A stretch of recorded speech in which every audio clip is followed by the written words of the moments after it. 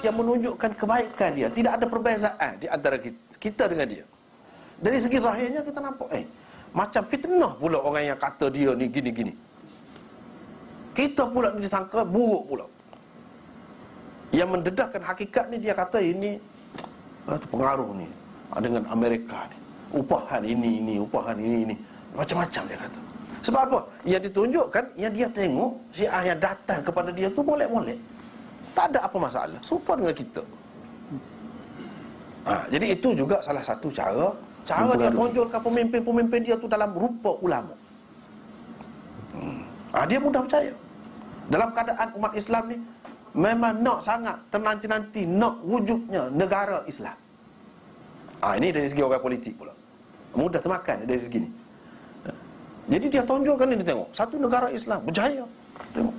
Pemimpin dia ulama-ulama dengan serbannya dengan jubahnya. Bukan main hebat. Ha, orang kita salah satu dari segi psikologinya dia mudah terpengaruh. Apabila tengok orang yang nak buat agama ni zahir dia nampak agama.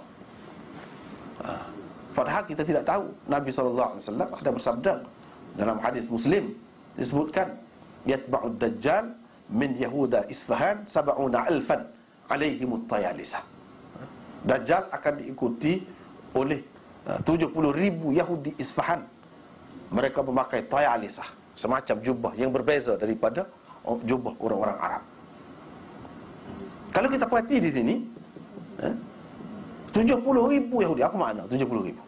Secara ringkasnya Ramailah ramai. Isfahan duduk di mana? Di mana letaknya? Adakah di Israel?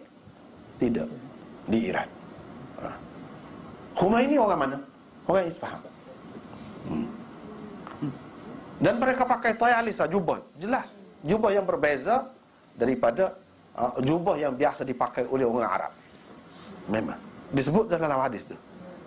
Tetapi orang kita dia ini ramai terkeliru sebab itu. Kalau orang pakai kopiah apa kita lebih mudah nak percaya. Kita kata dia ni ha, bagus ni. Orang soleh ni orang baik ni. Ha, sebab itu kadang-kadang pencuri pun dia pakai pakaian gitu. Ha, ha, ini di antara cara dia nak pengaruhi lepas tu dia tunjukkan macam dia tu memang nak Islam sungguh bermurah hati semua baik semua kalau nak saja bagi tiket kapal terbang tu ha? ha, pergi ke Iran, pergi bawa melawak sana sini. Orang yang kena macam ni, dia akan terhutang budi. Ha, dia dia akan nampak memang baik.